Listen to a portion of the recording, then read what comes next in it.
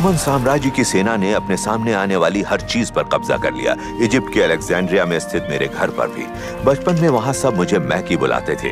हमारे शहर में रहस्यों और षड्यंत्रों का भय छाया हुआ था। गवर्नर को डर था कि पास के जूडिया शहर के यहूदियों की बगावत फैलने लगेगी। इसलिए उन्होंने यहूदियों और क्रिश्चियंस का जीना मुश्किल कर दिया। पर मैंने और मेरे दोस्तों ने कभी हार नहीं मानी। हमने लोगों को अपने आदर्श हीरोज की कहानियाँ सुनाई और धीरे धीरे हम खुद भी हीरो बन गए। एक दोस्त शाही परिवार से।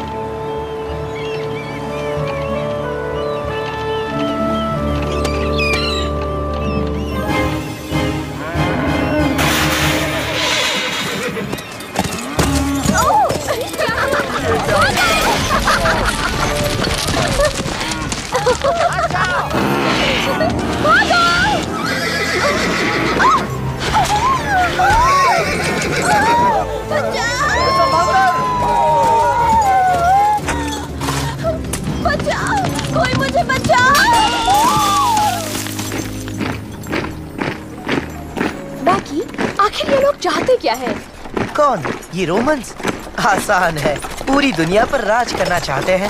काफ़ी मेहनत का काम लगता है। हाँ पर वैसे देखा जाए तो राज करना गुलामी करने से तो बेहतर ही है। क्यों? बचाओ!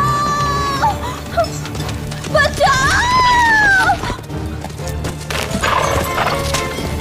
मैकी संभाल कर! तुम मेरी बात सुनते कहा हो?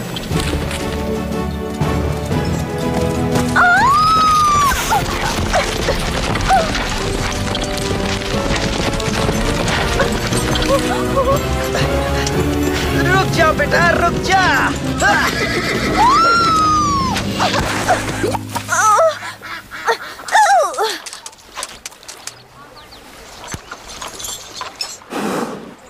तुम ठीक तो हो ना? क्या मैं ठीक लगती हूँ? तुम्हें दिखाई नहीं देता कि मैं ठीक हूँ? बिल्कुल ठीक। पर अपनी ड्रेस के बारे में ये नहीं कह सकती। तुम कौन हो? मैं मैं कबीयस हूँ। मैकी मेरी माँ डेल्टा क्वार्टर में कपड़े सिलती है। वो तुम्हारे लिए नई ड्रेस सिल देंगी। ओह इसकी ज़रूरत नहीं। पर घबराओ मत मुझे बचाने के लिए तुम्हें अच्छा इनाम मिलेगा। इनाम? अब शुक्रिया पर मैं नहीं लूँगा। इस काम के लिए तो बिल्कुल भी नहीं। मैकी ये देखो। देखो वो रोमन है। बेशक मैं एक रोमन हूँ। तुम तो ऐसे कह रही हो जैसे कि ये शर्म की बात है। सच कहूँ तो यहाँ पर अब अब चलो रिबेका। अम, अब हमें चलना चाहिए। संभल कर जाना हाँ।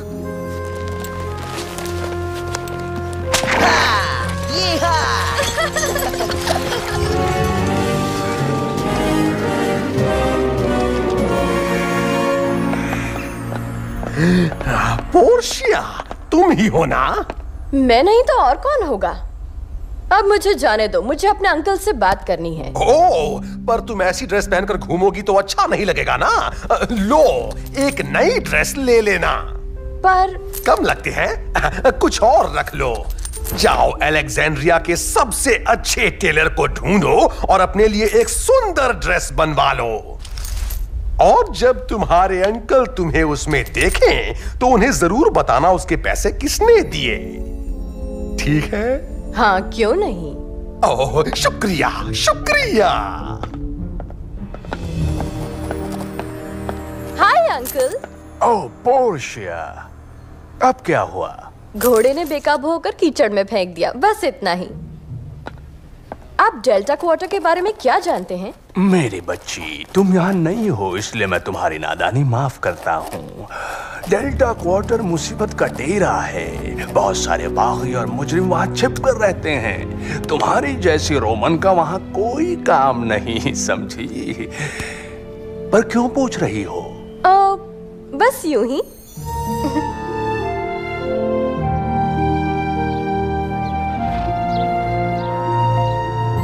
एक्सक्यूज मी क्या आपके बेटे का नाम मैकी है? हाँ मेरे बेटे का यही नाम है। तो फिर मैं आपको ही ढूंढ रही थी।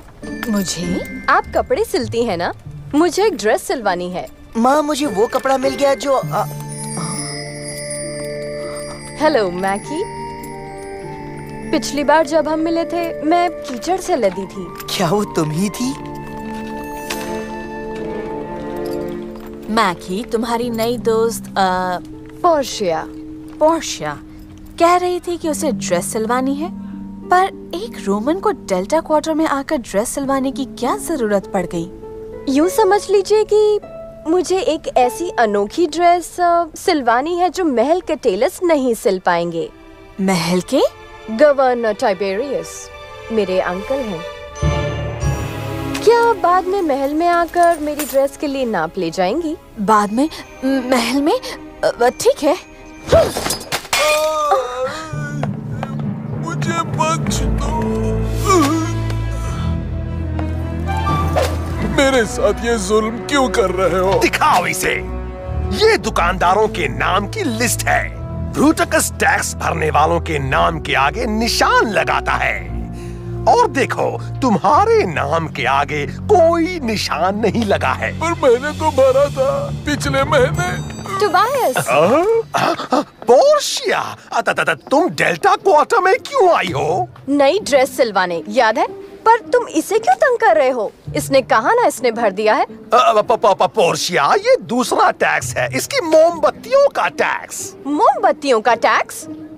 हाँ तुम्हारे अंकल ने कई नए टैक्स लागू किए हैं। शहर की भलाई के लिए ज़रूरी जो है, अगर कोई नहीं भरता मतलब वो तुम्हारे अंकल की जरा भी इज़्ज़त नहीं करता।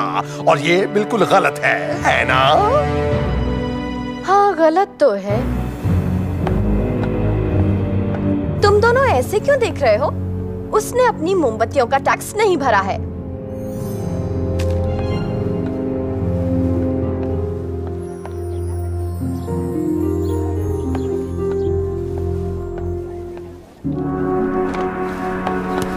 मुझे यकीन नहीं होता आप उस लड़की के लिए ड्रेस सिलने वाली हैं? इसमें गलत क्या है? पोर्शिया मेरी ग्राहक है और उसने ड्रेस सिलने के पैसे भी दिए हैं। वो एक रोमन ग्राहक है और आपने देखा ना दूसरे रोमन्स ने मोमबत्ती वाले की क्या हालत की? रिबेका सारे रोमन्स तो बुरे नहीं होते। पर वो हमसे बहुत अलग है। मैकी मुझे याद है मेरे पिताजी हमें सैमसन और डेलाइला की कहानी सुनाते थे।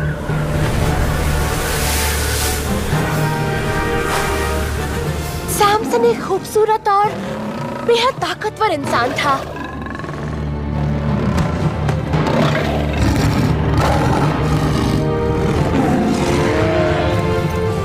वो किसी से नहीं डरता था।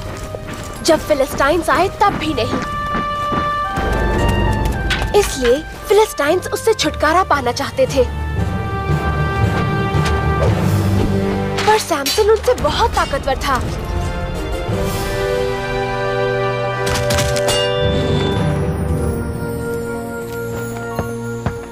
सैमसन को डेलाइला से प्यार हो गया, वो एक फिलिस्टाइन थी फिर भी। और उसके दुश्मनों को एक मौका मिल गया। फिलिस्टाइन के मुखिया सैमसन की ताकत का राज जानना चाहते थे। उन्होंने इसके लिए डेलाइला को पैसे दिए। बताओ ना, सैमसन, तुम इतने ताकतवर कैसे हो? और तुम्हें हराया कैसे जा सकता है? प्लीज़ प्लीज़ बताओ ना। मुझे सात रस्सियों से बाँध दो बस। हाँ।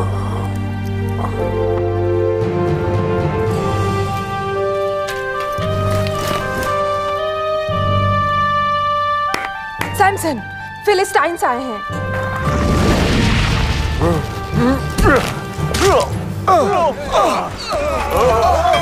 डेलाइला समझ गई। सैमसन ने उसे अपना राज नहीं बताया था। पर डेलाइला ने हार नहीं मानी। वो सैमसन के पीछे पड़ी रही जब तक उसने उसे अपना राज नहीं बताया। ये राज जन्म से मेरे सीने में कैद है। अगर मेरे बाल काट दिए गए तो मैं आम आदमियों की तरह कमज़ोर बन जाऊँगा। इस बार डेलाइला जानती थी कि सैमसन ने सच कहा है।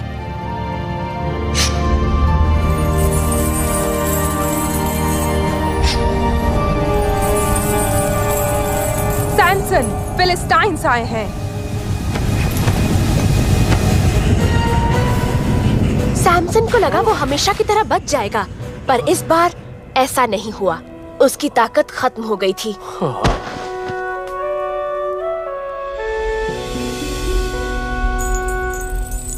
फिलिस्टाइंस ने उसे अंधा करके जेल में डाल दिया। एक साल बीत गया। सैमसन के बाल फिर से उगने लगे। फिलिस्टाइन के मंदिर में आए लोग सैमसन को देखना चाहते थे।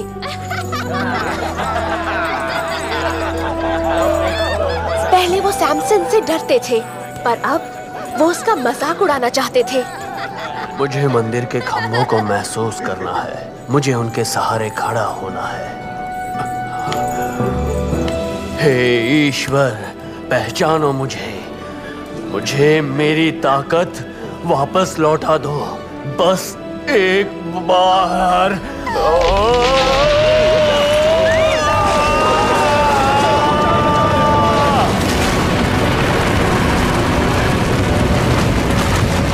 वाह क्या अच्छा अंत था कहानी का। देखो रेबेका तुम जानती नहीं पर रोमन्स फिलिस्टाइंस नहीं है। हो सकता है पर अगर मैं तुम्हारी जगह होती तो उस लड़की को अपने बालों के पास नहीं आने देती। मुझे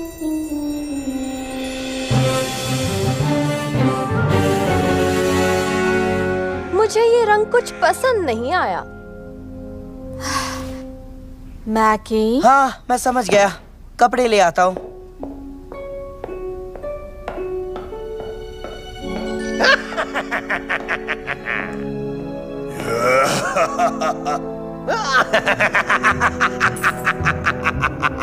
हम लोग बहुत अमीर होने वाले हैं। क्या आइडिया है? हम गवर्नर टाइबेरियस के लिए टैक्स इकट्ठा करते हैं और लगे हाथ अपना भी थोड़ा सा भला कर लेते हैं। थोड़ा सा या बहुत सारा? ताक झाक कर रहे हो? टोडी और ब्रूटकस वो टैक्स के बारे में झूठ बोल रहे थे। नामुमकिन। रोमन्स इस तरह के काम नहीं करते। ओह, और वो भतीजी कितनी भोली है। उसने मोमबत्ती के टैक्स वाली बात मान ली, आँखें बंद करके। तो डेल्टा क्वार्टर में कितनी कमाई हुई इस बार? ओ लगभग पिछले हफ़्ते जितनी। लगभग का क्या मतलब हुआ? अब, शायद सिर्फ़ एक मोमबत्ती की दुकान को तबाह करना काफ़ी नहीं था। कल रात अपने आदमियों को फिर से वहाँ भेजो और इस बार दर्जनों दुकानें तबाह करवाओ। काम बन जाएगा। मेरी दोस्तों की दुकानें अब क्या कहती हो तुम?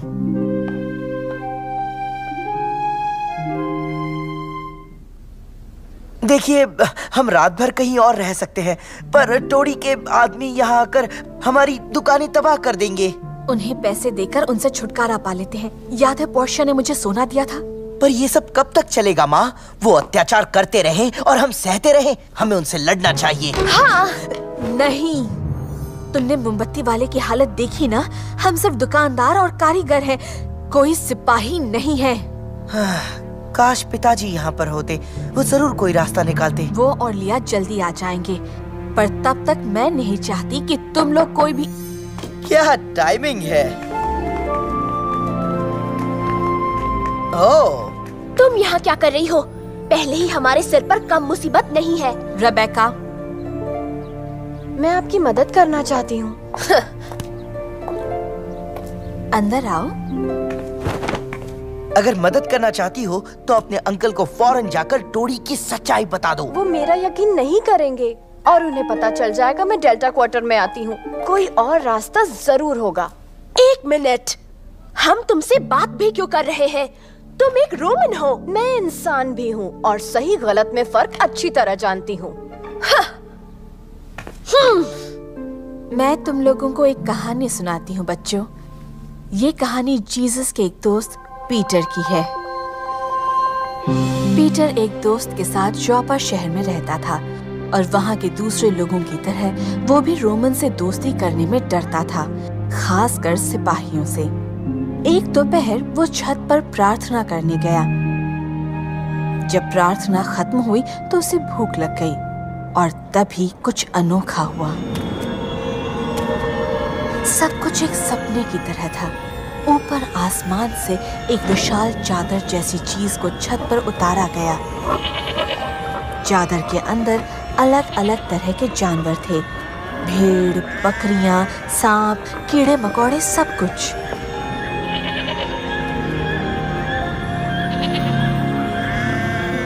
फिर पीटर ने एक आवाज़ सुनी।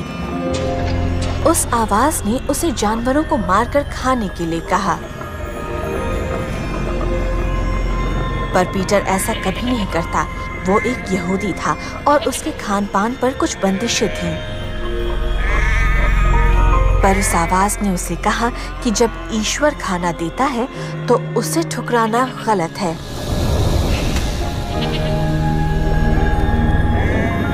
फिर सारे जानवर वापस ले लिए गए। पीटर को समझ में नहीं आया कि ये सब क्यों हुआ। अचानक उससे कोई मिलने आया। पीटर नाम का शख्स यहाँ रहता है। हाँ मैं ही पीटर हूँ। बताइए क्या काम है? हम अपने लीडर की तरफ़ से आए हैं कॉर्नेलियस की तरफ़ से। वो हमारे ईश्वर के प्रति बहुत श्रद्धा रखते हैं। सीजरिया के सारे यहूदियों से पूछ लीजिए। उनसे किसी ने कहा है आपको घर बुलाकर सुने कि आप क्या कहना चाहते हैं। एक मिनट। कॉर्नेलियस एक सिपाही था, है ना? उनकी तरह जिन्होंने जीसस को मारा। फिर उसने पीटर को न्योता क्यों दिया? हाँ रिबेका सही कह रही है। क्यों? एक बात बताऊँ, पीटर भी यही सोच रहा था, पर उसने वहाँ जाने का निश्चय किया। उसने कुछ दोस्तों को इकट्ठा किया और अगली सुबह सिपाही और नौकरों के साथ जॉपा से निकल पड़ा। उन्हें सिजेरिया पहुँचने में पूरे दो दिन लग गए। अपना स्वागत होता देख पीटर हैरान हो गया। और जैसे ही पीटर कॉर्नीलियस के घर की चौखट तक पहुँचा, कुछ अविश्वसनीय हुआ। कॉर्नेलियस, जो एक ताकतवर रोमन लीडर था, कई सिपाहियों का कमांडर था, उसने पीटर के पैर पकड़ लिए। जब वो अंदर गए, पीटर सपने का मतलब समझ गया। और ये भी कि उसे कॉर्नीलियस से क्या कहना है। पता है, हम यहूदियों को विदेशियों से संपर्क रखना मना है।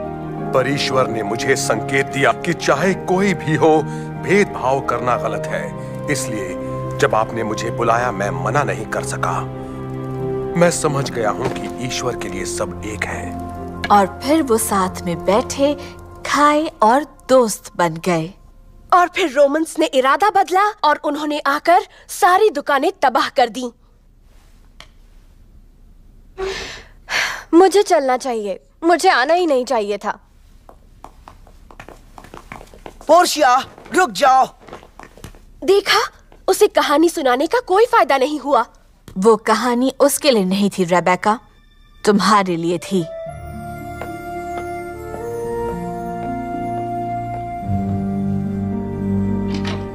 मत जाओ। रुकने का कोई मतलब नहीं है। मतलब बनता है। मेरे पास एक आइडिया है।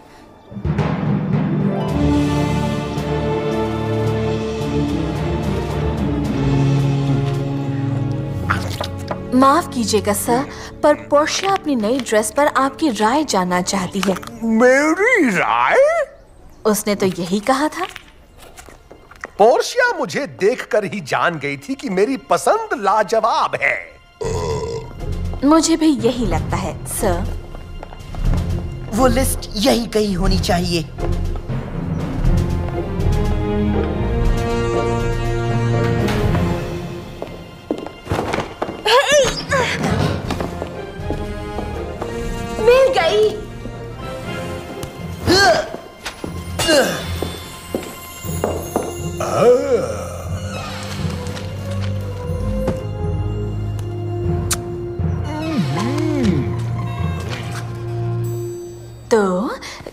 कैसी लगी आपको? मुझे लगता है ये थोड़ी ज़्यादा लंबी है या फिर शायद ठीक है। आम, आ, मुझे खाना खाने जाना है। रुकिए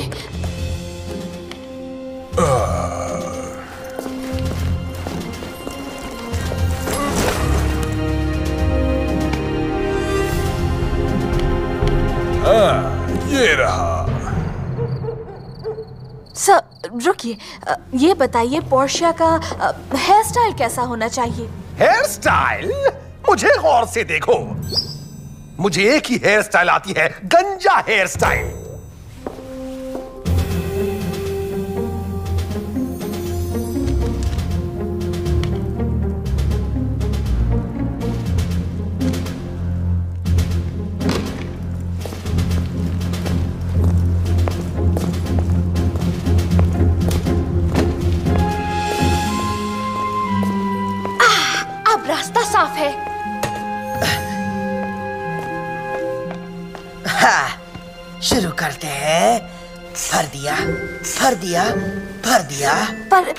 अपने बाल बाँध कर रखने चाहिए या बाल कर्ल करने चाहिए?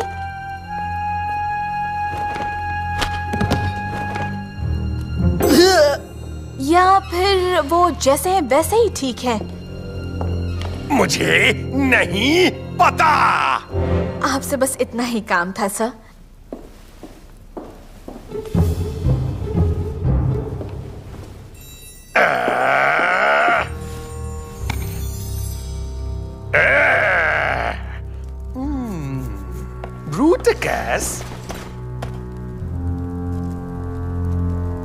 पता है ये क्या है? जी हाँ ये उन दुकानदारों के नाम है जिनसे हमको पैसे लेने हैं। और उनके पैसे देने पर तुम उनके नाम के आगे निशान लगाओगे है ना?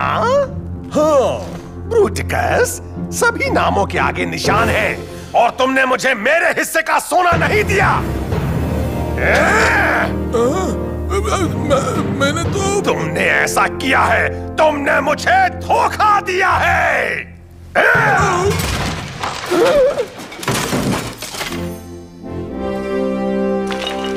बेवकूफ़ कहीं के।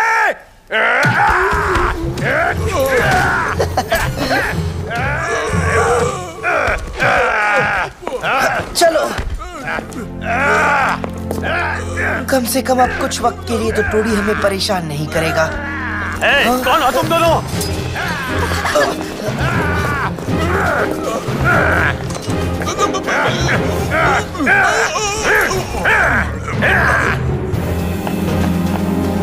कहाँ गए वो लोग? कहाँ गए दोनों?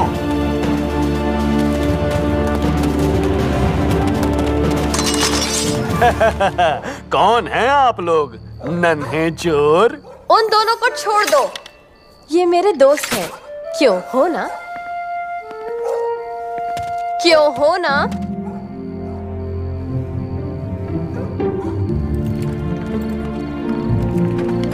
तो हम लोग अब चलें? पहले मैं जानना चाहती हूँ कि रिबेका अब भी रोमन्स के बारे में वही सोचती है।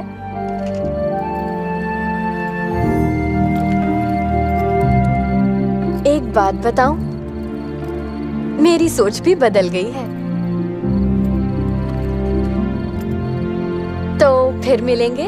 हम जल्द ही मिलेंगे।